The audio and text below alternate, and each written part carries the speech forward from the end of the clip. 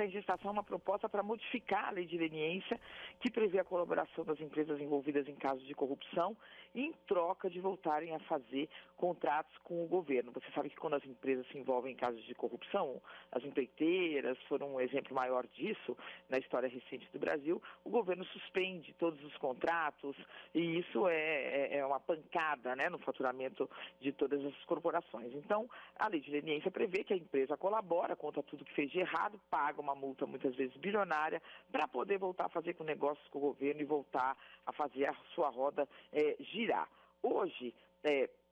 salva a empresa. E para salvar a empresa hoje, é, falando assim de uma forma simplificada, salvar a tecnologia, o conhecimento acumulado, empregos, preservar mercados, você acaba também, contraditoriamente, salvando os donos das empresas, que foram, em última análise, os, uh, muitas vezes os autores né, dos esquemas de corrupção e os mais beneficiados por eles. Uh, para fechar os acordos, as autoridades hoje, obviamente, elas exigem a saída dos donos de cargos executivos e as próprias empresas uh, tomam essa decisão de tirar as pessoas envolvidas de cargos executivos, mas eles continuam donos, ou seja, continuam acionistas e a salvação da empresa em última análise, é a salvação do patrimônio deles.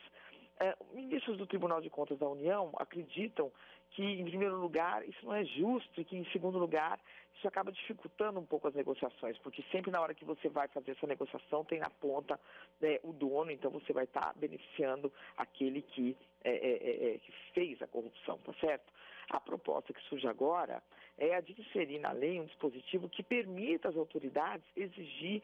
uh, que os donos uh, se desfaçam do controle das empresas, vendam ou que se pulverize o controle. E,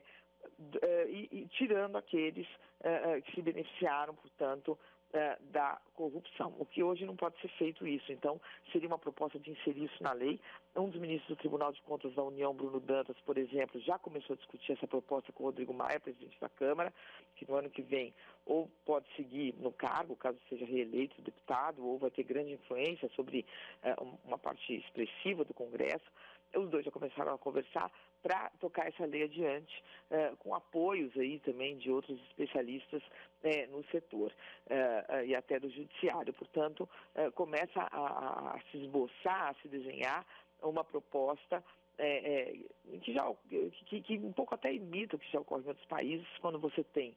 um envolvimento muito grande em corrupção, você a empresa tem que ser salva, os donos não necessariamente, e você separa, portanto, as coisas.